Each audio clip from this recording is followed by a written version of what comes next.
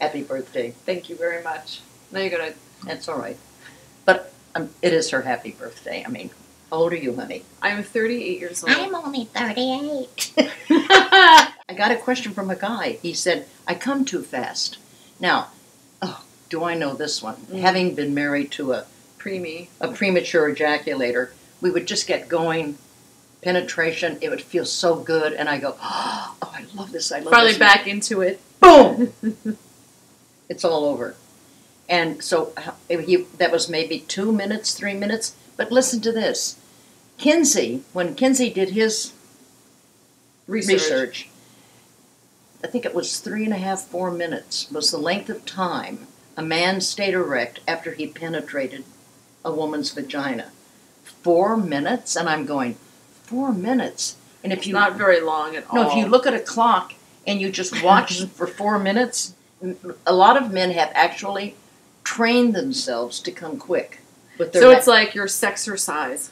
with, with their masturbation uh, habit. They've trained themselves to. Then you think about when you're a kid, you come fast so you don't get caught. So how do you train yourself? Okay. What are the basics? So there are a lot of different techniques, and everybody will have their own particular way.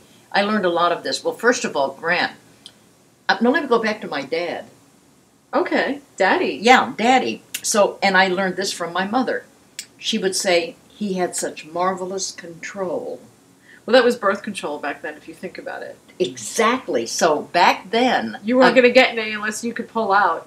uh, that's the whole idea. Because if you got her pregnant every time you had intercourse, It uh, wouldn't be happening a lot. uh, no way, Jose. So they he, they learned to retard or hold back the ejaculation. And Masters and Johnson called their approach the squeeze technique, which is you masturbate, and as you're coming up, and they always wanted the, the wife or the girlfriend to do it for the man. He couldn't do it himself.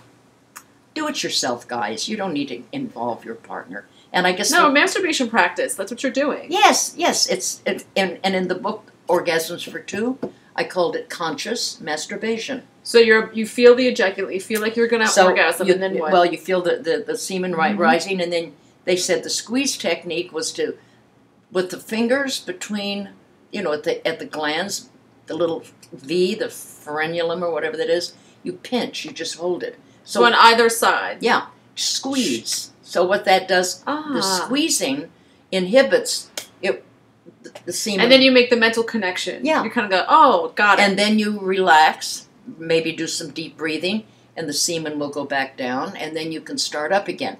Now, when they had the women doing it, they hurt.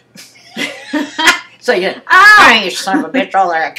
it was like, ah. So, and, and so not only do you have the squeeze technique, but then Eric also, we talked about the pelvic floor muscle. Now, this was confusing because he needed to relax his pelvic floor. Then I've had other men say, "Oh they no, have to tighten it up to stop. they tight, they squeeze it." So it's like when you're urinating. If you tighten those muscles, that's your PC muscle. Yeah, So some people need to tighten, some need to loosen.